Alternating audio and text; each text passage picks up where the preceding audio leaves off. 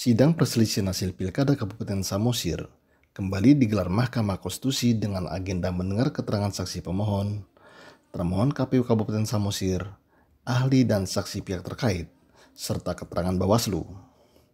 Ahli Hukum Tata Negara Marwar Sihaan yang diajukan oleh pihak terkait pasangan calon Fandiko Timotius Gultom Martua Sitanggang menjelaskan dalam adat Batak ketika seseorang atau keluarga hendak mengadakan rencana atau kerja yang besar dia tidak bisa langsung begitu saja melakukannya, tapi ada ritual, pesta, atau acara dengan mengundang orang lain untuk hadir.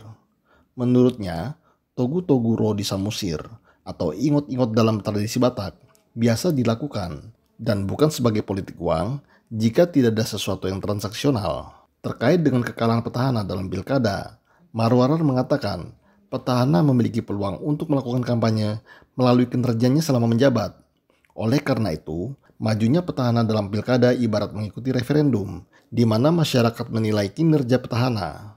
Selanjutnya saksi pihak terkait, Rosita Sitanggang, dalam keterangannya mengatakan hadir dalam acara konsolidasi yang dimaksud pemohon. Menurutnya, pembagian uang yang dipersoalkan oleh pemohon merupakan pembagian honor bagi pengurus partai. Saksi pernah dipanggil Bawaslu terkait hal itu dan berdasar pemeriksaan dinyatakan tidak dapat dilanjutkan. Bawaslu dalam keterangannya menjelaskan kesulitan untuk menelusuri lokasi, waktu, dan siapa pengirim atau pembuat video yang sempat viral di media sosial. Bawaslu mengatakan pemohon tidak pernah membuat laporan terhadap kejadian tersebut.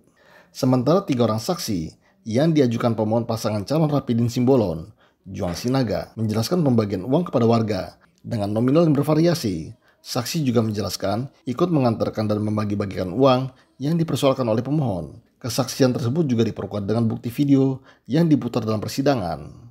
Ilham Riyadi, Hendi Prasetya, MKTV News melaporkan.